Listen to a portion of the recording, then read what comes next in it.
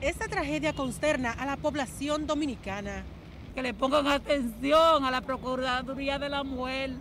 Los familiares de la joven Leda Vicente Sánchez, de 22 años, aún no se reponen de la muerte de la madre y su cuñado. Hoy reciben la infausta noticia del deceso del padre Ángel Robert Vicente Montaño. La hermana herida se encuentra estable y será intervenida quirúrgicamente. Tenía múltiples lesiones abdominales, por lo que fue llevado de inmediato a cirugía.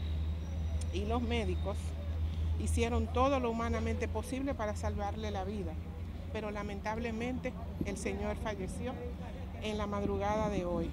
Que se haga justicia. Dios mío, mira, son muchos casos los que están pasando que deberían de ayudar y ponen, tuve que hacer énfasis en, la, cosa de la mujer, que lo agarran, qué sé yo qué.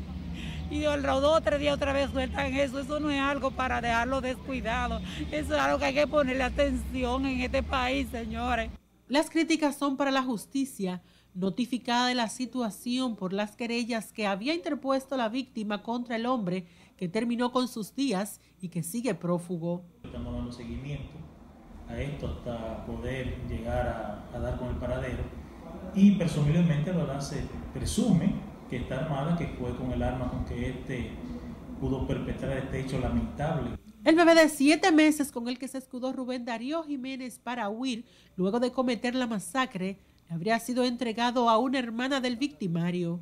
Y fueron a la fiscalía y la fiscal es familia de él, lo protege y cuando él estaba, cuando la muchacha estaba a entrar a la cita, él, él, se apareció, no sé quién lo orientó, quién lo llamó y la fiscal en vez de, de, hablar a favor de ellos, lo que hizo fue que se fue a favor del agresor, porque el agresor es familia de ellos.